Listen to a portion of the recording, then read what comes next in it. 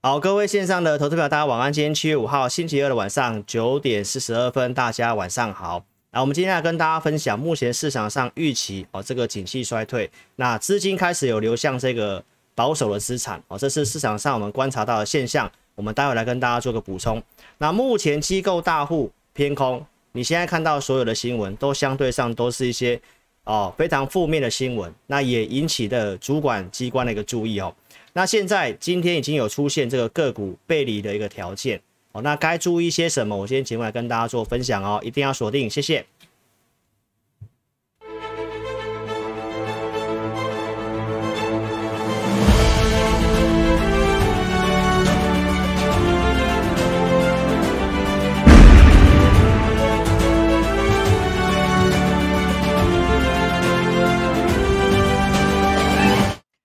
好，大家晚安哦。来，那今天要跟大家分享的主题呢，还是要跟投资朋友讲哦，涨跌跟我们投顾没有关系啦，好不好？投资朋友不要看拖啦。那我觉得一些重点的东西，大家先看清楚哦，不要被这个情绪所影响。那美股的下跌呢，哦，其实呢还是等收盘才知道，等收盘才知道。那我会来跟大家分享一下老师的一些解读。那新的观众，你也不妨把节目看完。大概了解一下老师过去所讲的讲过哪些东西，还有我们提醒过哪些东西，我们做了哪些的动作，好不好？你可以去做个比较，跟同行去做个比较，好不好？来，我们可以看得到这一次的行情哦，这一个季度的下跌哦，外资的提款已经超过上过去几次哦很大的危机，来，包括零八年的金融海啸，二零一三年当时要收 QE 也出现了一个恐慌的下跌。那二零一八年联准会哦，之前的升息循环行情其实应该是中美贸易战呐。那有某个季度出现大跌，那这次啊的一个大跌其实已经超过前几次了。那外资卖了一个金额，我想大家也知道嘛，已经是去已经是呃大概两年的加总了吧，上半年哈。好，所以呢，我跟在周六跟大家分享说，哦，目前市场上已经认定美国景气会衰退，市场上认定。而且已经用脚投票了嘛？哦，这是市场上的一个行为。好，投资朋友，亚特兰大的联准会哦，这个 GDP 的追踪工具显示，在今这个月月底哦要公告的这个经济的一个 GDP 数据哦，可能会再出现一个衰退哦，就连两季衰退，就是号称技术上的一个衰退。所以目前新闻上面都是来跟大家讲这些东西。所以我们从金融市场的解读来告诉投资朋友。虽然有些的一个资料已经显示短期超跌了，技术面乖离也很大了，筹码融资也多杀多了，但是你可能看不到，诶，为什么没有办法像过去一样止跌？那这个市场上目前信心哦出了一个非常严重的问题。我们可以看到这个右边这个是美元指数哈，美元指数在这里出现这根中长红嘛。然后呢，欧洲的股市因为经济数据下午公告的数据有些不太好，所以欧洲股市下跌。欧元的部分出现一个大贬，所以美元大升，资金有开始往美元的走向。那这个创新高，我觉得要观察，因为我们的判断是，其实这个资金过度倾斜，反而是容易见到短期低点的一个讯号。所以这个部分的话，我们可以观察今天晚上的收盘。再来，我们来跟大家讲一下这个美国政府的十年期公债，十年期公债。那这边要来跟大家报告一下。哦，就是我周六所讲的，美国公债下来之后，正常股市的估值应该是有利于反弹，但是这一次的中公债下来之后，你会发现到股市并没有明显的反弹。那公债殖利率下去，代表前往债券市场去，所以其实这里是告诉投资朋友，市场上现在的心态非常的保守，所以公债殖利率下来，通膨有机会下来。那正常股市应该要有机会出现一波明显性的反弹，但是现在没看到，所以这是信心面的问题。信心面的问题，分析师没办法跟大家做分析。但是投资朋友，我还是要告诉大家，新闻所告诉你的负面讯息，都是在低档利空出现的时候才发生的。所以你要知道，有些东西市场上早就已经有知道跟预期。我们讲这个债券值利率的事情，来六月中我告诉大家，联储会要激进的升息，目前预估到年底可能升到三点三七五嘛，那我们是告诉大家，我们抓三点五趴好了，公债殖利率过去在联准会升息到三点五帕的时候，就是在哪里？就是在三点五到四 percent。所以当时在这个地方，我告诉大家，它初步反应之后有机会下来，股市也应该有机会出现一波的反弹。好，那确实公债持利率下来了，那股市也有稍微反弹一下，但是力度明显不够。所以我们看到六月中，我告诉大家这里可能会下来，没错吧？那也确实下来了，这些大概都是符合在我们的预期。好，所以投资朋友，我们来看一下这个图表。我告诉大家，目前整个金融市场的动荡的源头就是通膨嘛，因为通膨的关系，所以联准会要升息嘛，升息的关系，债券值利率才会上去，所以股市的估值调整，然后下跌之后会有去杠杆。但是我告诉大家，因为美国重要是看这个核心的 CPI 资料，联准会升息也是看这个资料，目前克里夫兰的预测都是在下滑，所以六月份的整个。第二季度的六月份，不管是汽油、原油、天然气、小麦，哦，都是下跌的。所以我告诉大家，最新的一个预测也是告诉你，七月份的资料会下滑，六月份可能短暂创高，就在七月中要公告了。所以其实这些东西大概都有在预期当中去走，但是目前市场上显示出来是心态非常的保守。所以，投资朋友，我们来看到通膨在第二季确实有些迹象告诉我们，这里容易见到转折点。克里夫兰的联储所预测的东西也是告诉我们，这里七月份开始下滑。所以，联准会所升息的路径会不会有所改变？那我们可以去做个观察。如果改变之后，投资朋友，那不见得会像大家所想的衰退，因为大家已经预期会衰退了嘛。所以，投资朋友，我们在操作上面最忌讳的就是去猜测，最忌讳去猜测，所以我都尽量用数据来跟大家做一个分享。那目前市场上的解读，我是告诉大家，心态很悲观，极度保守，钱都往保守性的资产去。但是，当资金过度集中之后，反而是容易更是恐慌的低点。所以，我们可以去观察一下这个地方是否有这样的一个讯号。那我们再来跟大家报告一下。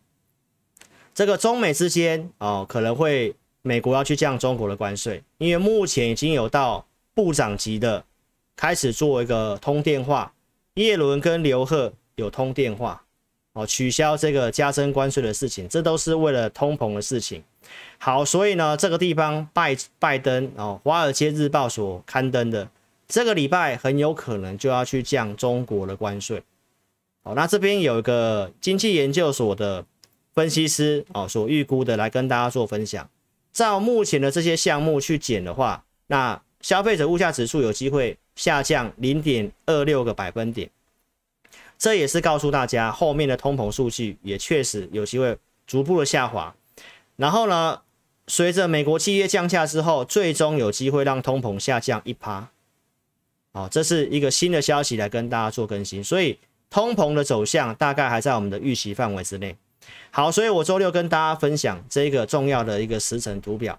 那其实你会知道，七月份就是一个很关键的月份。哦，这礼拜呢，我们周四的时间有这个联准会的会议记录内容，就是六月中那一份。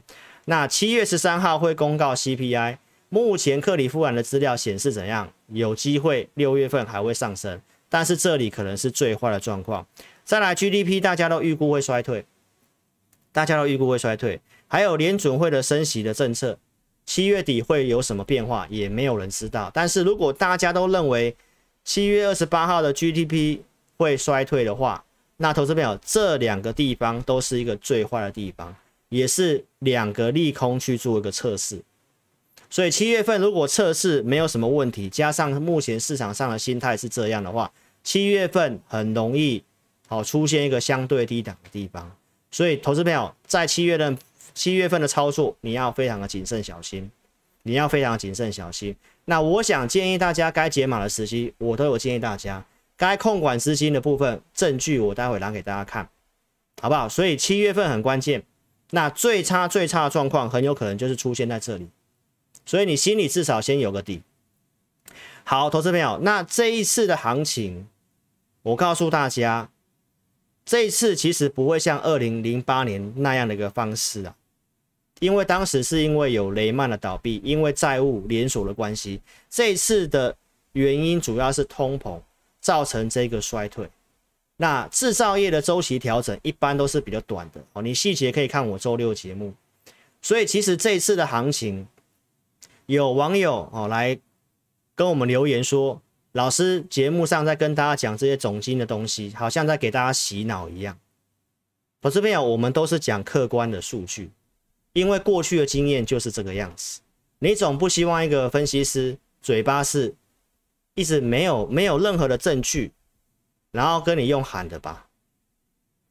美国可能经历二战以来最奇特的经济衰退形态，投资朋友，我们其实也真的没有看过，我们没有看过美国在充分就业的时候，这里《华尔街日报》提到，目前有一百三十万人领取这个失业的支票，远远低于大流行前三年一百七十万的平均。所以，投资朋友，其实我跟大家强调什么？耶伦为什么认为？这一次打通膨可能不会提高失业率，这边的报纸有写到，经济衰退有不同的一个程度，投资朋友有严重的，有轻微的。那大多数认为有机会衰退，但是可能是相对轻微的。为什么？因为你要了解美国现在的经济衰退，都跟你讲美国，美国会出现衰退之前，投资朋友都会出现失业率上升的讯号，这是一直以来我跟你强调的东西，投资朋友其实。这就是事实，而且所公告的失业率，投资朋友，目前最新的，在这礼拜要公告的，市场上预期也是维持在三点六，不会变。所以在充分就业的时候，你要直接去猜美国要衰退，投资朋友，那我们只能说尊重市场，因为市场太悲观了嘛，对不对？因为认为联准会要这样做，所以将来一定会衰退嘛。但投资朋友，那很多东西来讲的话，看起来是还没有这个迹象啊，对不对？但是有这个走向的话，那你必须要控管资金嘛，我们也有做嘛，对不对？所以这一次来讲的话，美国家庭储蓄的一个金额还是比过去几年的季度还要高，所以储蓄的部分也有机会帮助美国的家庭冲击这个经济的衰退，这都是我在六月二十五号跟大家讲的。所以为什么这个？布拉德会告诉你，不太可能出现衰退，所以美国现在有两种声音，有人认为不会衰退，有人认为会衰退，有人认为是轻微的。啊，因为这个东西吵吵个不停，因为就在充分就业的地方啊，充分就业的地方，然后你要去猜说要衰退。好，投资朋友，其实我认为就是美国联准会收资金，收资金再跌而已，跌了之后就是一堆。鬼故事，而且现在大家都非常看空，空头部位哦，这个机构统计的，目前的放空的金额是比二零零八年当时的时候还要高，现在空头的比重是八十三趴，那市场上的情绪就是很看空嘛，对不对？六月中这个地方，美国散户的调查，你看这一个资料已经是来到这个地方，创了十年新高，大家很悲观嘛。所以新闻推波助澜之下，你看连基金经理人也很保守嘛，现金部位不是创二十年新高吗？这是最新的恐惧贪婪指数，今天晚上可能会更低哦。二十五下都是极度恐惧跟害怕的时候，所以在这种情绪之下，投资朋友，这里美元冲出去，美股一个下跌，那你要特别注意，是不是就出现以跌止跌的现象？因为公债殖利率，我们认为已经是初步反应，美元它已经反映到升息该有的一个程度了，这是一个很关键的时候，而且都是坏消息一堆的时候。好，那我们回来看台股，你是老师 A P P 用户，来投资朋友，我最近的文章写的重点都是告诉你这个，台湾毕竟是浅碟市场，那我们也尊重嘛。你从这个地方可以看得到，第一个选择权。现在法人大户是相对很偏空，而且去做避险，选择权一以上是偏多，对不对？那现在已经掉到零点零点五九，这投资朋友这个东西，这个到零点五几，我必须跟大家讲，我可能七八年都没有看过这个掉到这个数字过，几乎没有。二零零五年的时候好像有一次吧，所以我跟大家讲，比在二零零五年嘛。所以从筹码面的数据，我跟大家讲，其实现在法人就是在做避险，空单也在做一些增加嘛。所以在这个避险部位没有解除之前，我也是告诉大家，你要谨慎小心嘛，对不对？所以我们是死多头嘛。透过一些数据，还是跟大家强调怎么做嘛。但我们认为有些利空真的底已经先反应了，那就看投资朋友你怎么去做。好不好？大家不妨可以去搜寻一下这篇文章，七月四号这篇文章，邱志昌专栏哦，老师的会员也叫志昌嘛。哦，他其实也是非常知名的金融学系的博士，经济经济学方面也非常厉害的。好，那你不妨就去看一下这篇文章。哦，他写的是现在台股被蹂躏跟狙击，因为他认为很多的东西。大家认为美国的投资银行对联准会的利率哦漫天的喊价啊，你没有详细的去了解一些东西啊。目前这些坏消息吓坏了一些刚贷款买房的，真心想成家立业的哦，投资朋友，那经济社会的乱源呢？没有人去了解这些的一个经济景气跟所谓的货币金融的部分吗？这就是要告诉大家，现在市场上。很多东西在我们所了解看来，我们其实认为金融市场已经有初步反应的现象，但是坏消息一直出来，坏消息出来到现在，连主管机关都认为谣言满天飞，对不对？证交所我已经说散布不实消息的要法办，贵买市场也有，这是要告诉大家，有些假消息已经被检举到，连主管机关都受不了。那在这种时候，就是有些人去放空嘛，然后放这些消息，然后让大家很恐慌嘛。哦，你看，包括连假日的这个三台积电被三大客户砍单的事情，老师周六已经用郭明奇的推特跟大家讲了。为什么我说郭明奇的讲法你可以参考？因为他姓郭嘛，跟红海集团有亲戚关系嘛。对不对？这个备货量，这过去的苹果拉货状况是怎么样？他的习惯是怎么样？你看我周六的节目嘛。再来，投资友，你要特别去注意上下游之间。如果真的这么差的话，这是红海集团，对不对？他上修了全年的展望。投资友，红海集团是做什么的？红海集团是最下游的，做代工的。那他都能够上修全年的展望，他是要告诉大家什么？没有大家想象中那么差。哦，投资票我不是死多头，我们就是从一些逻辑去看，对不对？那真的真的东西，有些东西都有提醒大家过，对不对？汇率的贬值，哦，猜测是用二十八块八去算的，这是一些电子业的一个产业的内容。晶圆代工遇到乱流，但不是寒流。投资朋友，我认为半导体它会有一些不同的差别。我们认为 IC 设计要比较小心一点，但是最上游的晶圆代工，尤其是台积电，我们认为问题不是很大。但是呢，这些消息也让也让这个台积电真的跌很惨，对不对？所以观众朋友，我认为半导体现在跌是因为这个东西啦。两党的这个针对美国针对这个科技的法案要不要通过了？对不对？现在不管是台湾的台积电，也有跟美国警告，如果这法案在七月份如果不通过的话，因为要休会了嘛，台积电去美国建厂一直拿不到补助金嘛，对不对？不管是台积电还是英特尔，都已经跟这个美国商务部去。要挟的，包括环球星也是一样啊！你要大家去建厂啊，补助款这些的法案都没有过，啊，你也知道美国建厂成本很高嘛，所以台积电就说他可能会缩减对美国投资嘛，英特尔也说可能要先要不建了嘛，要去别的地方设厂了嘛，所以投资票我认为其实半导体弱是因为这个东西。好，那我周六也跟大家讲这个库存的事情。其实库存的东西，投资朋友，你去看一下，谁是马后炮，还是我们有没有先跟大家讲？四月十六号的时候，其实我告诉大家，制造业它本来就会有个周期的修正，从这里要跌破零轴，我就告诉大家为什么第二季我们对于电子股相对保守。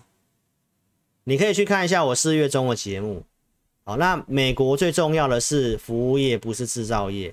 所以其实当制造业衰退的时候，要做一个库存的调整的时候，那美股大概都会跌个一两成嘛，修正嘛，对不对？这是我跟大家举过案例的四月中嘛。好，那我在周六有跟你分享什么重点？我说有些领先指标已经先上来。全国景气、全球的景气三个重点嘛，美国、欧洲跟中国嘛。那跟台湾是制造业相关的，就是中国嘛。钢铁也是跟中国的景气最直接相关嘛。好，那关于全球景气，我是不是用这图表来告诉大家？中国是制造业大国，然后呢，制造生产完之后去美国。如果现在市场上在跟你传这些存货的问题，那你可以特别注意一下蓝色圈圈，就是我周六讲的重点。中国制造业的这个新订单减到成品库存，它如果先上来的话，它会稍微领先美国一到两季。蓝色圈圈是不是都在都在黄色前面？那我周六已经告诉大家了，中国已经上来，而且回到零轴上。所以这个东西一上来，投资朋友，那美国那边的库存。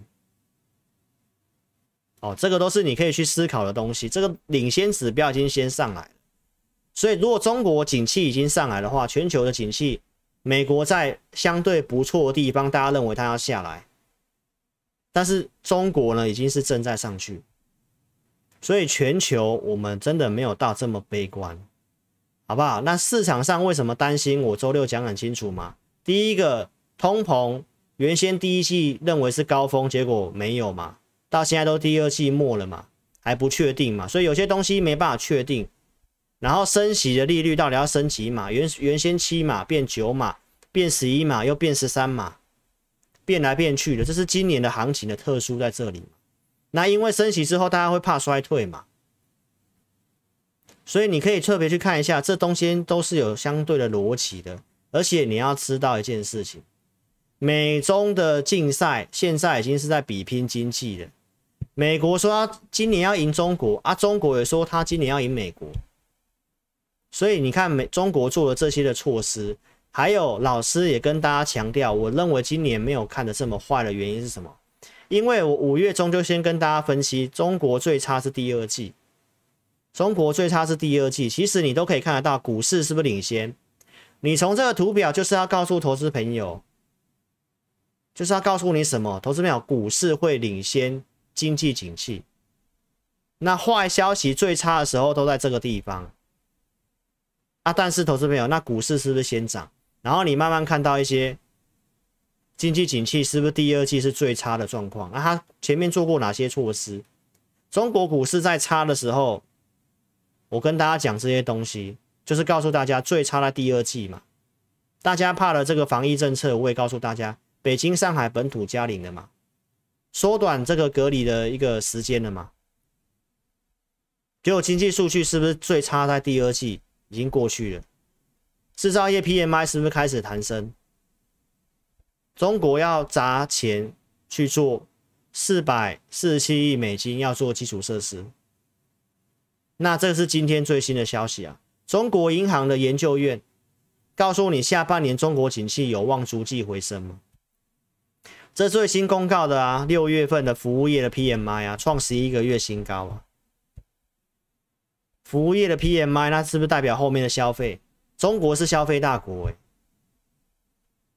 所以如果中国是这样的话，那投资朋友，那美国如果这个东西没有大家想象中那么差的话，那这两个全球的最大最大的两个引擎没有问题，那你怎么认为这个要大衰退？而且通膨的一些东西都跌下来了。所以市场上这样认认为，那我们当然尊重嘛，对不对？那我们要做控管，没有信心嘛，我们做控管。好，投资朋友，所以钢铁的部分我已经告诉大家了，跟对岸的景气最直接相关。对岸的景气都上来的话，这个是我跟大家强调的，我没有要大家用力去买钢铁股，老师是负责任的来跟观众朋友、跟我的会员，有些会员甚至已经到齐了，我来跟大家追踪看法，好不好？投资朋友，如果有机会的东西，啊，那我认为你就是不要去乱砍，啊，上来你会怕，你要减码没关系，好不好？你可以特别去注意一些现象，高盛大降铁矿砂的目标价，目前在一百块钱，它要把它降到九十块钱。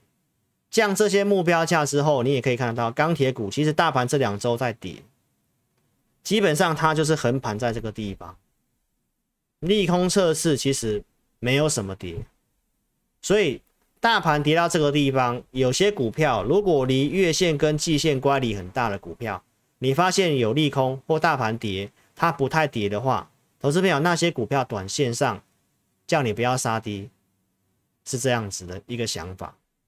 好不好？那我也跟大家特别讲一件事情。哦，钢铁股将来的讯息，老师会在 A P P 里面哦去做追踪，所以一定要去下载我的 A P P，一定要去下载我 A P P，好不好？你如果担心诈骗集团的话，你在下载我们 A P P，这里的 line 都绝对是正确的。怎么下载呢？在 Google 跟 Apple Store 搜寻老师的名字，哦，那你完成手机验证之后，自己 key in 你的。名词跟这个密码哦，就是你的账号跟密码了哈。注册完成之后，重新登录就可以。那快速性的来跟大家讲一下哦，我们的这个申请体验的一个内容互动教学，我们在明天星期三是第一场哦，第一场。那我们这个下个月开始啊，老师的这个互动教学，因为一个月是两场嘛，那这个我们会针对这个。哦，用户哦，一个非公开的直播，就是来帮大家做一个持股见证。好，因为我们原先是希望让让大家提问问题，然后我们有一个教学互动的。但是我发现因为行情不好，哦，那大家问的都是股票，那我们制作团队也认为，那就是先以哦帮这个用户去做持股见证。哦，所以明天晚上我们会针对就是大家先提出来的一个第一阶段的一个。内容去做回答，好，然后呢，有时间我们就做这个持股见证，好，这是针对用户所专属的。那我们团队在这个呃第呃每个月第二集就是会自己会定一个专题去录影录一个教学的影片，好，所以这是我们的互动教学。那五报导航呢，盘中数据哦，老师会给你一个结论的看法。你是这个注册的用户，来，你在今天的十二点左右。大盘还在这个地方的时候，我们就已经告诉大家，哦，它有一个背离的讯号，今天已经出现结构背离的讯号，什么样的讯号？我待会来跟大家讲哦。好，所以投资朋友，如果说你想要体验我们的五报导航跟互动教学的话，下载 APP 之后，首页这里有个紫色按钮，你点进去，哦，点选申请填表之后，那我们服务人员跟你联络，互相加赖，我们会帮你做开通。目前这个体验是不用花不用花钱的，好不好？所以 A P P 其他功能也特别跟大家讲一下哦，直播的通知，包括文章哦，包括午报分析。那将来钢铁股的讯息，我都会尽量在上面做追踪，因为老师要把直播的时间缩短哈，因为我这个二四真的太忙哦，那我真的是不希望让大家每次都到十点多、十一点多哦，太晚的时间，所以我将来都会尽量缩短。那重点我都会在这个文章上面。哦，或者是午报上面，哦，会领先的来跟这个粉丝们做分享，好不好？所以一个贴心的小提醒，你手机下来之后，记得在通知的地方，哦，点选老师 A P P 要允许通知，这样我们不管是有更新影片或者是文章的话，那你第一时间就会收到了。那如果说有个股问题，你这个地方点这个赖的咨询，这个路径就一定是正确的路径，所以一定要下载我 A P P。哦，赖的部分将来我们比较不会去发文跟发讯息了，好不好？就是都会在 A P P 上面，哦，所以邀请你哦，一定要下载我的 A P P 哦。所以这是一个观忠实观众的服务平台，你可以搜寻哦，Apple 或者是 Google 搜寻，或者是我们影片下方有这个下载连接，你去点选下载就可以了。哦，你现在看直播用手机看的，你用点选是最快速的，好不好？所以呢，尽快去下载哈。那喜欢老师的影片也记得帮我做。订阅，手机打字这里好，聊天室叉叉点掉之后，新朋友帮我订阅跟开小铃铛。那自家人请帮老师按赞跟分享影片。订阅老师的频道来，投资朋友，今天的这个午报哦，老朋友就知道我们说了背离是什么意思。来，老师的频道是会提醒你风险的哦，我们不是那种一一路叫你用力买，下跌不用担心用力买那种，不是。啊，有相关讯号该解码，我都跟大家讲要解码。来，二零二一年四月份这个地方，来指数涨，多头股票数量往下走，这就是背离，所以五月份出现这个下跌，所以该提醒你的时候，我有提醒你。好，那我今天午报跟大家讲的是，来，现在已经有稍微出现跟去年八月份的一个八月二十号当时的资料是一样，当行情修正到一个程度的时候，个股跟大盘是会不太一样。我们在观察的是，当指数破底的时候，今天指数破底嘛？当指数破底的时候，如果出现了什么？哎，空头股票数量反而是逆势下来，多头股票数量反而是往上升。哦，那这个就是所谓的背离，这个就是告诉你有些个股不太想跌了，跌不太下去了，这个都是一个初步落底的一个讯号。好，所以你是五报的用户来投资表，你今天就会知道，你就会收到这个图表。中午左右你就收到了，好不好？那重点是操作部分，你也可以去看一下我们的依据是什么。来，投资票，今天一开高大涨，很多人认为，哎，特懂啊，没问题，要去追股票，对不对？但是我今天告诉会员朋友，你可以看到这个绿色的线，这个卖压是一路的往上窜，一路的往上窜。所以我的讯息就告诉会员朋友，早上九点半的时候，卖压偏高，量不太够，早上是不能追股票的。至少投资朋友，你的分析师要知道今天的操作怎么做。所以今天从开高一路往下，这个高低点，投资朋友差多少？三四百点，对不对？所以这个地方开高是检视个股要不要去减码的时候，因为。卖压冲上来的嘛，好，那什么是背离呢？来，投资表你可以看到这边，今天在这里破底的时候，你有看到吗？空头股票数量是稍微下来，多头股票数量上去，所以跌在跌指数，但是今天的个股有些明显性是不太想跌的。那这行情我刚刚跟大家讲，大家很保守，对不对？从一些数据我们也可以看得到。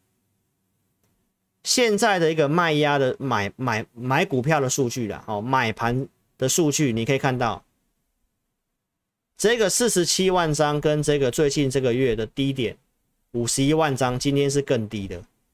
最近的行情都是一样的，没有什么买盘，大家不太敢买股票，所以如果没有买盘接手的时候，恐慌去杀，你会发现那个价格跳很快。这就是事前目前市场上的一个情形，什么时候信心恢复，那就是你要去决定什么时候要去积极操作的时候。现在还是采取一个防守的姿态，好不好？所以这是有依据的带领。那你如果是五报的用户来，你中午就会收到这个东西，好不好？那从低点从这里往上拉，拉了两百五十点。那如果出现这个讯号，明天跌的话，投资表你可能还是要特别注意，个股还是有可能会跌不太下去，因为已经出现了这个讯号，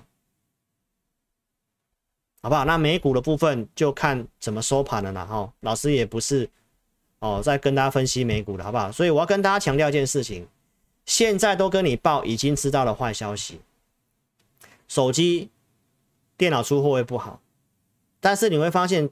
出坏消息的时候都已经跌一大段了嘛，那你要看到消息的时候才要去卖股票吗？老师是有提醒你的，来二月二十三号我告诉你一千一百块联发科，我叫告诉你要卖，我告诉你今年手机会比较不好。投资表二月份就告诉你了，不是这个时候看到坏消息了才要去杀低。第二季比较看保守电子股，为什么？因为缺料、成本上升影响。这都是先讲的。二月二十六号，还有老师的节目有提醒你资金控管，因为第二季电子股我看的比较保守，所以我跟大家讲，电子股不好，大盘不会好，所以告诉你资金用五成，没错吧？所以其实你有控管的话，行情跌，投资面我觉得你比较不会那么紧张。所以你可以去比较一下同业，对不对？同业是叫你用力买，不用担心嘛。那投资朋友，我有提醒你解码股票，我有提醒你避开一些觉得怪怪的、不太对的族群，对不对？所以真的也跌电子股来，当时也是真的涨钢铁股，也真的涨化工股。所以我认为你可以去冷静看一看我们所分析的内容跟层次，还有过去所提醒大家的转折点。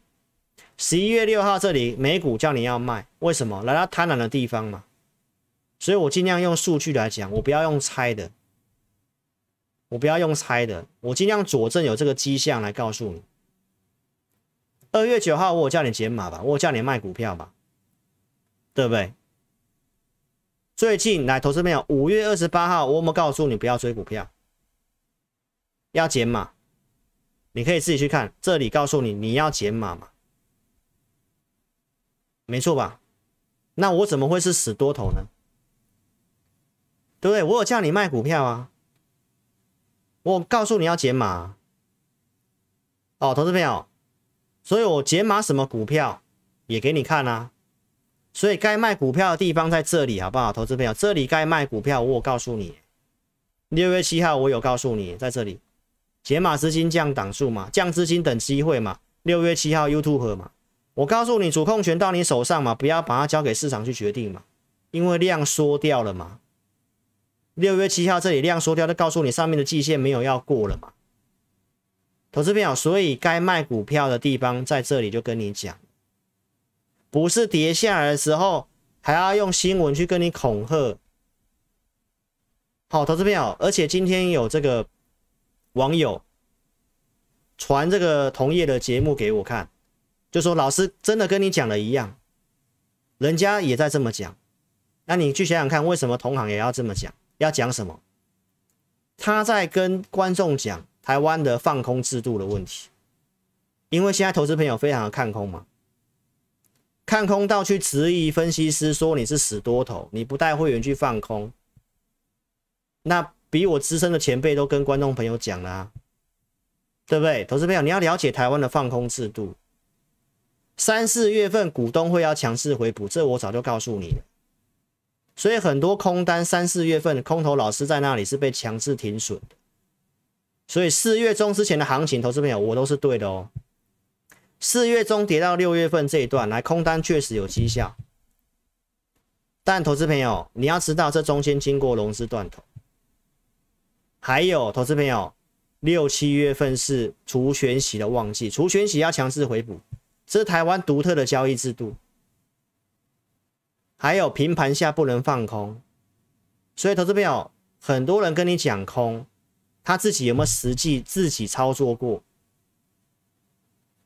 投资表这是个大问号，不是你讲空，然后你发个扣讯带会员空，会员就有办法空，你实际去放空你就知道了，好不好？那不一定是适合带会员的，还有人说要什么用什么权证这些，你要不要去看一下台湾的权证的那些那个成交量？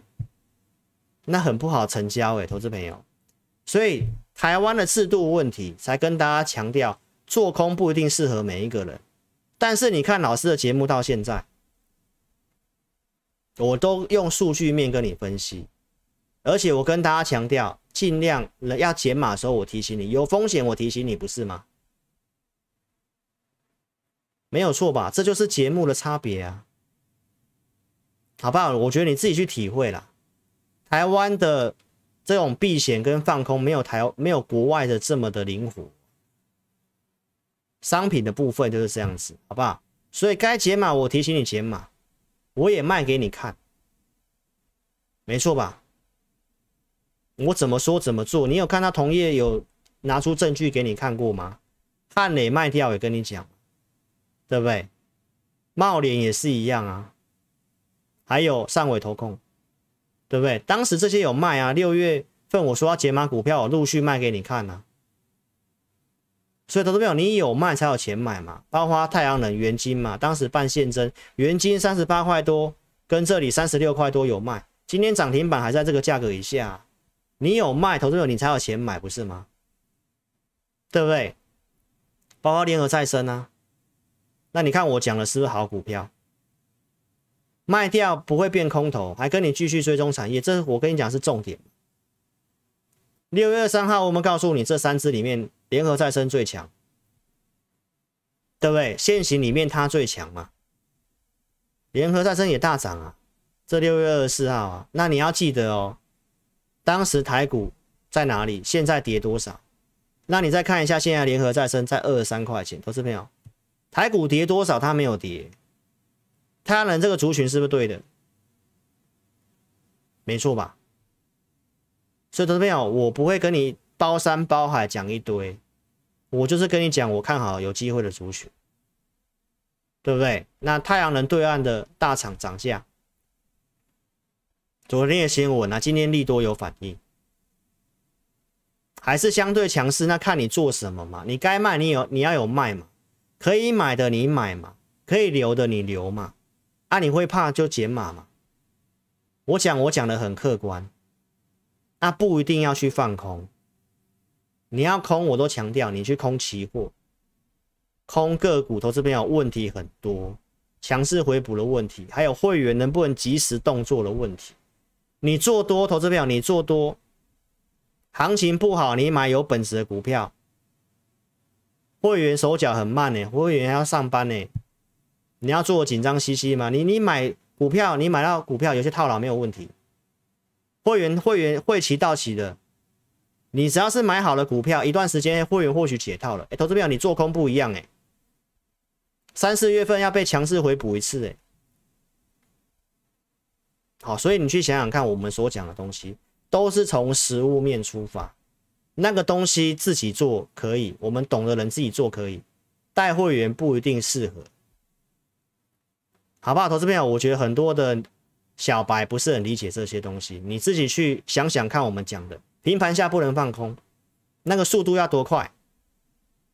所以真的空得到，真的吃得到吗？这个是你要去想的问题，好不好？所以。很多观念你要想清楚，不是死多头，是台湾的市场蛮独特的，做空有多少的限制，你先了解后，你决定要不要去做，你决定要做你就去做，啊我们觉得那个不太适合，尤其在这个时期强势回补的时期，好吧？我想很多没有同行在跟你讲这些了，昨天已经有前辈跳出来跟你讲这些东西啊，这些东西都是早就我早就是我讲过的东西了。对不对？所以你找一些机会在哪里嘛？毕竟也跌多了嘛，跌四千多点。所以这个电力的事情，台湾政府说要从储能出发嘛。六月二三号，我是不是跟你讲中心店大盘有破底，它没破，四十八块多涨到五十几块钱。现在中心店也是盘面上强势股啊。投资表，那大盘跌多少？那这这股票还是相对抗跌啊。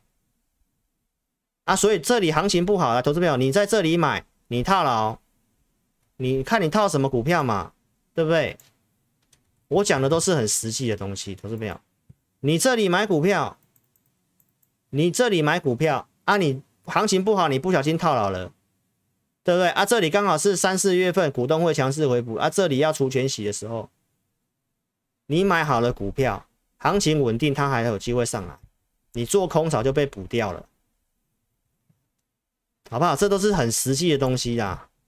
而且我告诉大家，这个九月份电价还有可能会涨，这是一整季的话题。第三季太阳能是重点，跟你讲到现在，亮橘灯了，缺电，好不好？储能我跟你讲，台达电也是一样啊，台达电啊，大盘不好，它相对已经都修正很多了，储能的龙头嘛。所以认同理念的来投资朋友，邀请你可以跟上老师操作。怎么放空？我也有教我的会员，放空前该做什么？该做什么准备？我也有告诉我的会员。那你准备好了吗？你真的懂吗？对不对？你懂了再去决定要怎么空嘛？不要那边嘴巴讲，好不好？投资朋友，所以要放空没关系啊，我们准备空的名单给我们会员了。那你要先准备好嘛？那目前这个时候就是除权洗的强势回补时候。所以其实你会看到很多做空的老师跟你讲大盘现行是空，那为什么他现在要做多？你去问他好不好？就是制度的问题嘛，好不好，投资朋友？所以我都跟你讲实际的东西，认同理念你可以跟上我们操作，看投顾节目，你要注意有没有扣讯。会员组别日期打上买什么股票，什么价格，能不能成交，这四项你去对一下。节目要先分析预告股票，有做要有扣讯，公开跟你验证，涨上来跟你追踪，利多见报卖掉跟你讲，从预告分析有做到中间的证据过程。你现在要去看那个每天涨停板的投资票都没有扣讯，对不对？台办我节目有跟你讲，一一低比一低高，对不对？我有跟你分析啊，是会员的持股啊，有卖啊，有减码，六月二十七号啊，八十四块六这个地方啊，可以卖到八十六块多这个地方，我们留一半，另外一半不对，六月底这个地方行情不好，跌下来，该停损我们有停损，没成交的改价也有给大家看呐。所以，投资朋友，你看最近很多股票都像这样子，台办也是绩优股哎，啊，这种股票跌的跟投机股一样，都是筹码松动的关系。那你有卖投资友，那也是有价差。所以，投资朋友，我会买会卖，该停损我也会停损，好不好？台办也是有预告的，来，包花智毅六月中节目先跟你预告，我盖起来，我说我买什么股票。网通的事情，我跟你讲嘛，所以我不会乱枪打鸟。三到五个看好的族群，节目上跟你讲，对不对？要有证据拿出来给你看。高价会员买的，这里买嘛，一二四这里买嘛，对不对？一二八这里做个价差先卖嘛，跌回来又买回来嘛，上来又卖掉嘛，做两趟价差嘛，行情不好做价差嘛，我们也是有做啊，尽量去做啊。好不好，投资朋友，这都是过程，卖掉我也没有买回来啊。网通其他股票像宇智、神准，这个有卖掉都跟你讲。这个在五报的部分我们就做分享了。这天六月二十八号盘中，宇智卖掉，好不好？你都可以去看一下这些股票了，不太好做啊，又融资。融券要强势回补，投资表其实这里多空都难但是都跌这么多了，啊又停资停券了，融资又多，融资又多杀多又断过一遍了，这里当然是找绩优股止跌，你去做多胜算比做空去追空还要大了，这都是实际化了，所以该卖我们有卖嘛，对不对？三五五八的神准。也是一样啊，该卖我们有卖，这里卖的，这是网通的节目上有跟你讲的。老师的这个投资名单，六月底我预告机器人，五月底我预告机器人呐，更正一下，我六月初准备投资名单给我会员，八零五零广基嘛，在还没有涨之前就有眼光跟你预告机器人，对不对？准备投资名单，这价位都有到的，包括像华汉。那你看到现在才开始出新闻，告诉你广基怎么样怎么样的，出新闻都已经涨一段了，你自己看一下，八零五零，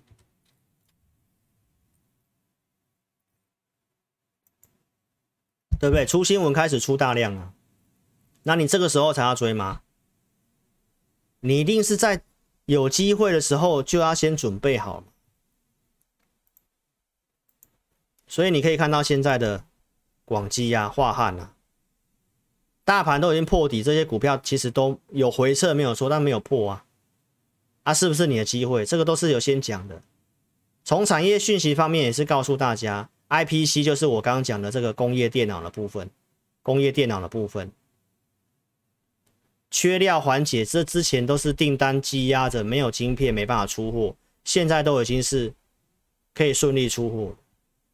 这都是比较肯定、比较有机会，第三季比较有机会。我都跟你讲，第三季比较有机会。机器人什么时候讲的？五月底就讲了，所以我就做做预告嘛，对不对？包括像这个工具机的，像上银、亚德 KY、化汉嘛，都是节目有跟你讲的过程。今年还能够成长的不多了，这都是我们跟你谈的方向。所以老师会员服务就两组，普通跟特别。后续我带五档。额外准备投资名单跟入会影音，投资名单放在我们的会员专区哦，同行都没有这些服务。入会影音告诉会员目前的行情怎么操作，怎么控管，我们都尽量沟通清楚。而且投资名单我都是有设定方向的。二月五号节目就分享，我们看好的产业在这些，机器人就在这个地方，低轨卫星、自动制造，也跟你分享。五月十九号跟你讲的。大只的有机会的车用的股票，玉龙、红海。玉龙当时四十一块钱嘛，五月十九号的画面嘛，直接就跟你讲大只的，小型股我不会去跟你讲，对不对？五月底的玉龙，六月二十一号玉龙来到五字头，对不对？爆大量告诉你不要追了。这一天，六月二三号星期四，你自己去看一下，在这一天跟你讲。投资朋友就在这一天跟你讲，就在这一天跟你讲，就在这一天跟你讲，不要追。这一天跟你讲，五月十九号嘛，十八、十九这里嘛，啊，这里告诉你不要追。哦，这都是大型股公开给你验证，所以最后最后我还是跟投资朋友强调这样子，哦，这里已经融资断头了。一百四以下，说真的不常见，所以我跟大家讲，真的到一百，看到让你看到一百三十几，融资大减之后，投资没有这个地方，每次的相对低档都是融资断完出现的了所以这里其实也差不多，所以我们告诉大家，虽然很多人会说，老师这一波断了好几次，说实在，这一波行情真的很特殊，我们也没有见过，没有看过这样子断了。还可以再断，断了再断，断了再断，那市场上真的非常没有信心。好，但是投资者，我们就透过这些经验来告诉大家，过去的经验就是告诉我们，只要龙资杀一杀，这个地方你还要去追空，还要去砍股票，但是该卖股票地方我告诉你了，五月底六月初就告诉你了，那个地方要卖吧。这个地方龙是这样子的，你才要去卖，所以我认为大家自己理性想清楚，我们所讲的东西。啊，如果今天我是乱讲的，那你再来质疑我，因为我们都是按照过去的资料跟经验跟你讲，就是这样子，市场上怎么走不是我决定的嘛，对不对？更何况我们有解码，我们有提醒你要卖股票，哎，好不好，投资朋友？最后告诉你不会发生金融海啸层级的东西的。从零八年金融海啸之后，美国银行就已经受到很大的监管。为什么要看美国？投资朋友，因为美国全世界用美元大概比重大概就七成，美国的体系金融体系很重要。压力测试这个失业率达到十趴，商用的房地产跌四成，房价跌二十八趴。公债公司债利差扩大，股价崩五十五趴，这么严格的条件，美国银行都全部过关，通过压力测试。这一次不是那种所谓债务所引起的，这一次完全是因为联准会就收资金，资金收回股市跌，然后大家预期会衰退，但是经济景气的东西我也跟你分析的。就算它有走向衰退了，但是也没有到那么严重吧？有必要跌成这样吗？好不好？投资朋友都是这些的利空推波助澜之下，而且龙狮都已经都杀成这样了，要不然主管机关为什么要出来说有些散布不实消息？就是机构法人有些都看空嘛，看空所有的所有新闻、所有媒体的东西都跟你写空的、写不好的，但是其实投资朋友也都已经跌到一个程度了。好，我没有叫你用力买哦。我们现在会员的持股也是大概控制三档左右而已。好，我是要告诉大家，过去历史经验你可以参考，对不对？上半年如果跌很多，下半年投资没有表现，通常也没有那么差。尤其七月份又很重要的时候，老师做节目现在都已经跌到这样的时候，我还要再恐吓你，跟你讲要崩盘，这也太奇怪了吧？该卖的地方早就叫你卖，有问题的时候早就跟你讲。四月中大家都知道制造业的这东西要去库存，第二季要去库存，早就知道的事情，什么是在现在才暴利空出来，在这里跟你暴利空，然后告诉你这些库存的事情，投资表四月中就知道了呢。现在用这些东西来恐吓你，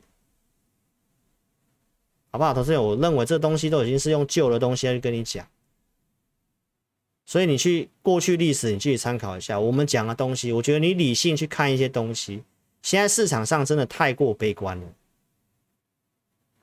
真的太过悲观了啊！那我们也要尊重市场嘛，所以我们控管资金啊，我有提醒你啊，好不好？投资友，你认同理念的，你认为这个地方已经是跌到一个程度，对不对？那你持股，如果你不知道怎么调整的，乖离率很大的一些股票。然后有本事的，那你这个地方能忍住就忍住啊！谈上来哪些要优先卖的，你还是要调整，因为第三季很重要，好不好？那你要怎么做？我们帮不了你，对不对？节目我顶多给你方向，啊，你想操作，你可以跟上我们操作，盘中依据也给你看，你这样做会不会比较安心？好不好？所以持股问题，你可以去做一些。调整跟处理，好不好？第三季是一个关键，好，我们也在观察当中，所以邀请投资朋友，你可以填写表单，送出资料，我们尽快来协助你。好，那我们的 A P P 给专忠实观众的平台也记得要去下载，好不好？将来的直播通通知文章哦，我们的五报分析哦，就是都在上面。哦，所以谢谢各位，你有想要询问入会，也可以来电二六五三八二九九。哦，那影片下方都有这个连接，填表或者是下载 APP，好不好？谢谢各位，祝福大家操作顺利。好，音乐结束之后再跟大家，呃，再来跟大家打招呼，好不好？谢谢各位，我们周四直播见，谢谢，拜拜。